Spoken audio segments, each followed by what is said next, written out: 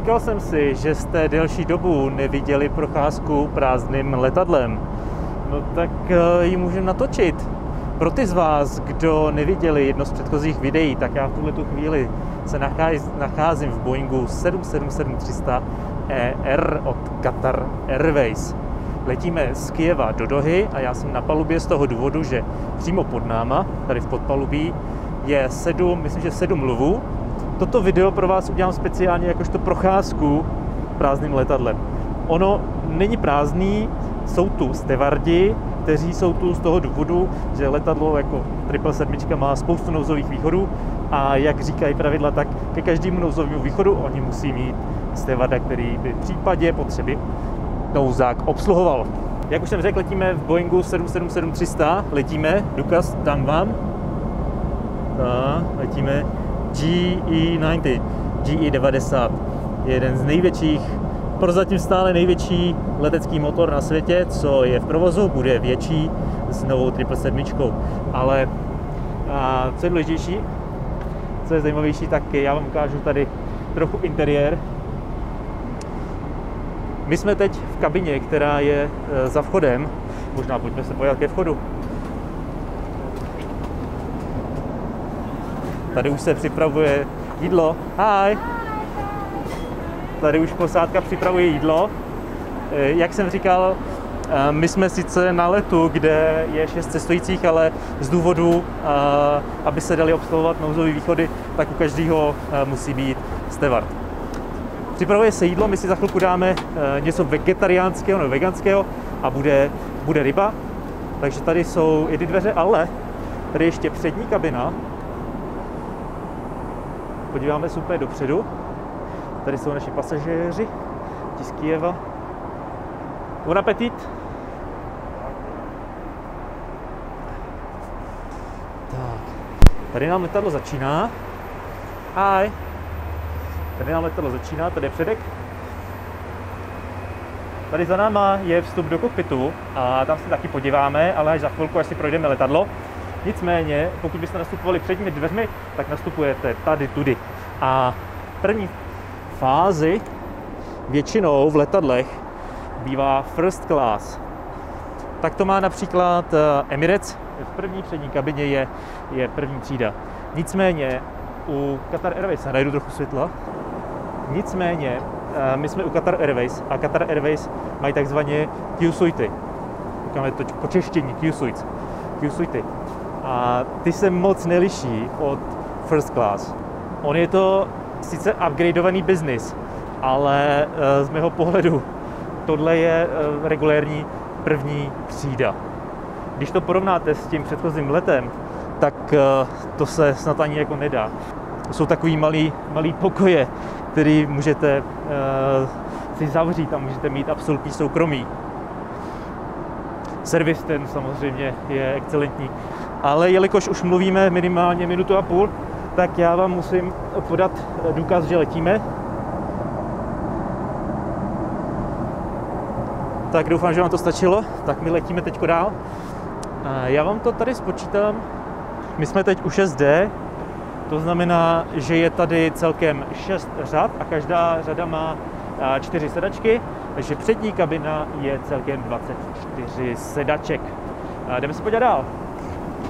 Tady jsme byli, tady už se připravuje ty krásný nápis podsvícený.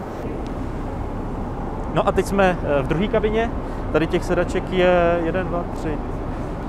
V druhé kabině je celkem 16 e, Q-suitů jsou úplně stejný jako ty přední, není tady žádný jiný, jiný místo. A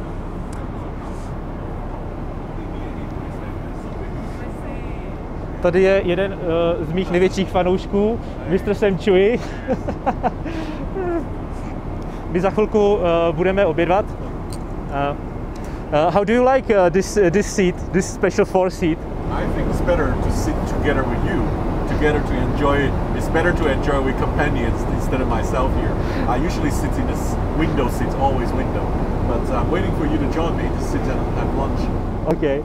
Tak my se za chvilku přidáme. To je možná věc, kterou jsem vám chtěl ukázat, že ty Q suity jsou dost univerzální tady dokonce se pro nás eh, udělaly čtyři sedačky, které jsou, dá se říct, propojené.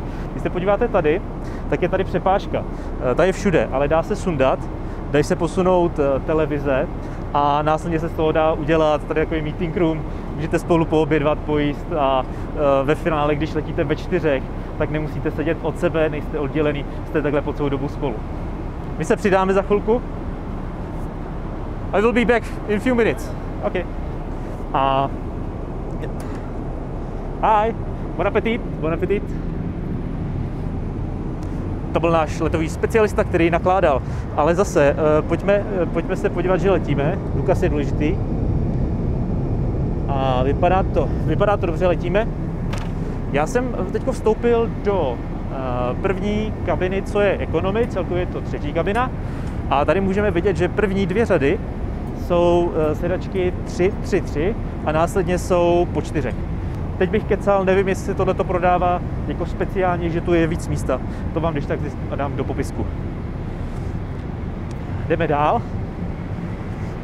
Tady oddělený, tady máme záchody, není tady žádná gely, jak vidíte, další dveře, takže tady by měly být další, eh, další dva stevardi, kteří eh, hlídají nouzové východy pro případ.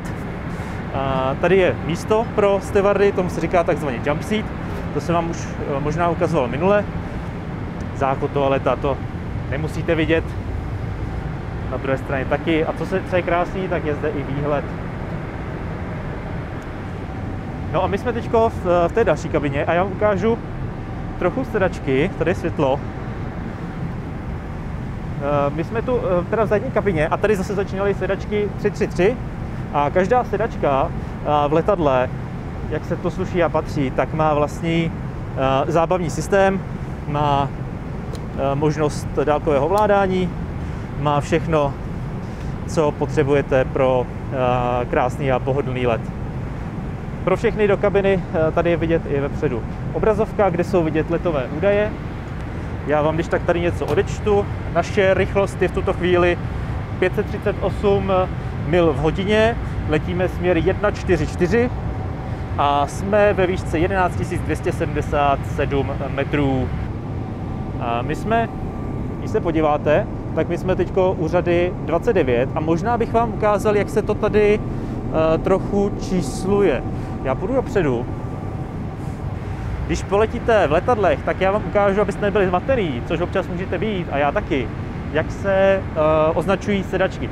Ukážu vám ten rozdíl mezi ekonomickou kabinou a business třídou. Uh, jde o to, že uh, tohle letadlo je koncipováno jakožto 3, 4, 3. To znamená, že vy tady dokážete najít jednoduchý popisek. 24 to je řada a je tu A, B, C. To znamená, jsme v řadě 24 A, B, C. Podíváme se sem a tady vidíme 24 F, E a D. Logicky 24 F, E a D. Ale když se podíváme do další řady, protože tahle řada má celkem čtyři sedačky, ono je to D, E, F, G. Takže tady je jedna sedačka navíc.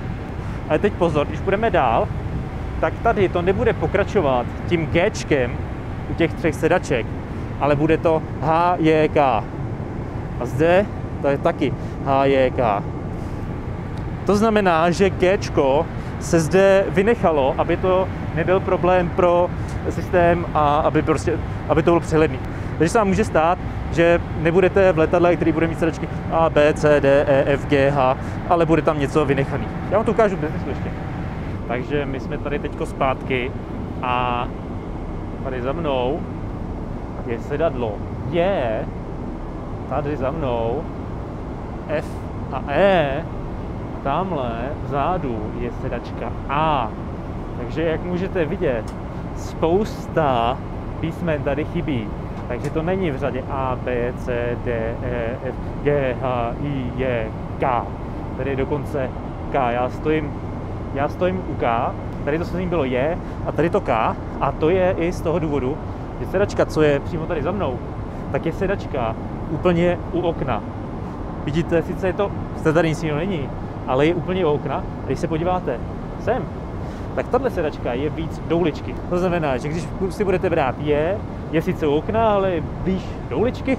A když se vezmete K, tak je čistě u okna a do uličky máte prostor trochu víc. To je kouzlo číslování a označování sedaček. Nic zásadního v tom není. Ale jak můžete vidět, tady je F a E a tady je G a D. I když jsou vlastně sedačky, dá se říct, stejný, jsou tu jenom dvě, tak zase ty sedačky jsou posunutý, že jsou buď víc do uličky, anebo jako jsou třeba tady, tak tady jsou eh, vedle sebe. Takže tohle to je F a E. Postupujeme kabinou, tady překvapíme posádku, aby jsme viděli, jak to tady vypadá. Tady vypadá. Tak já tady postupuji dál a tady už vidím, že zase čeká spousta, spousta lidí z posádky. Hi guys, how are you? Hi, hi. Tak eh, kolega mi tady teďko řekl, že když eh, na palubě nikdo neletí, v případě, že se jedná o eh, gargolet s pasažerským letadlem, tak je zde pouze jeden nebo dva stevardi. No my se blížíme ke konci. Asi vás to nepřekvapí, ale i tady jsou sedačky. Jak se blížíme ke konci, tak logicky trup se trochu sužuje. To znamená, že už tady není tolik místa, aby zde byly sedačky 3, 4, 3, protože by tady bylo málo místa, ale už jsou tady sedačky jenom 3, 3, 3. Takže pokud byste chtěli uh, nějaký místa uh, pro 3, tak hledejte v zadní části. A ve většině případů se jedná o to, že ty sedačky jsou zdarma. Je to takový malý tip, když se podíváte, tak tady, jsou, tady je poslední řada, kde jsou čtyři sedačky, tady už je jenom náhrada za sedačku a tady jsou už jenom tři sedačky. A kdyby vás zajímalo, co je úplně na konci, tak tady se nachází další kuchyňka. Hi guys, how are you? Kdybyste chtěli popsat kuchyňku, tak uh, není potřeba, tady jsou trouby, tam je uh, mašina na kafe, tady jsou uskladněné vozíky. Uh, není to nic zázračného, je to jenom kuchyňka. Tady máme zase jumpseaty a tady jsou poslední uh, dveře, které se dají otevřít a ze kterých se dá utéct. To by bylo z letadla asi všechno. Ono dá se hovořit. Ono o letadle se dá hovořit dlouho, dlouho, dlouho, dlouho, dlouho o spoustě, ale pozor, pozor, já si myslím, že jsme dlouho neměli důkaz, že letíme, tak si ho tady ještě dáme. Tentokrát jsme na levé straně a za křídlem. Kdybyste měli zájem o takovýto výhled, tak zvolte sedadlo 32 a Ačko je vždy u okna.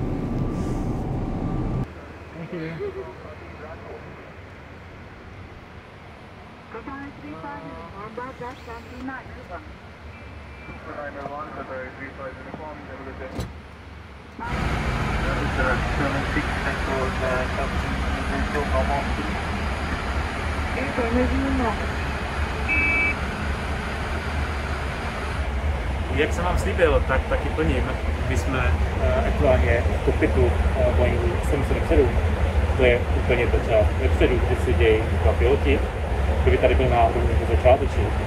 Ale uh, já vám tady ukážu pár přístrojů, tady to nebude úplně tak velká tour, protože na to nemáme čas. Takže jen trochu obrazem, uh, věřím, že se vám to bude líbit a vracíme se za chvilku zase hned, hned do kabiny. from here onwards is uh, yeah, Those areas. World Tower is uh,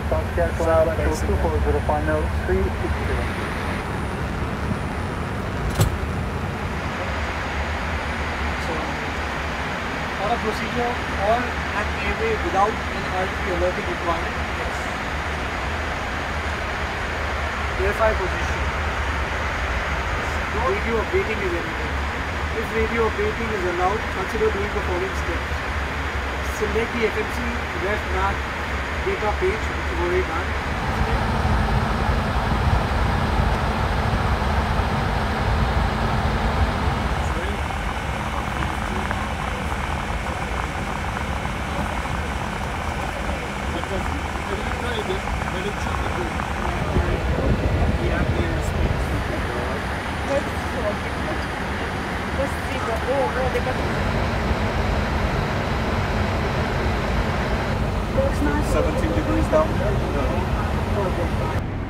Já se teď vrátím sám k sobě. Ono už na nás možná bude čekat jídlo, tak my povečeříme, poobědváme spíš. A, ah food is ready, so okay. Tak jídlo máme připravený. Já se s váma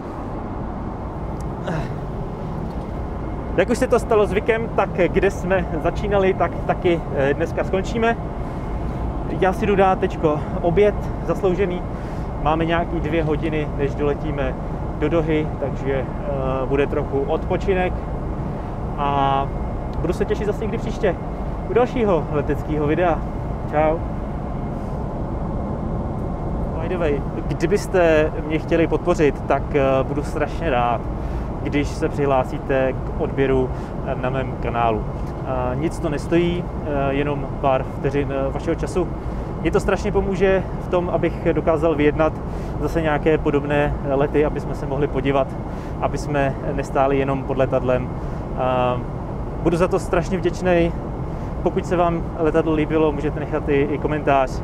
Pokud byste měli nápady na nějaké další akce nebo videa, taky za to budu rád. Takže jo, díky moc a Zase příště u dalšího leteckého videa.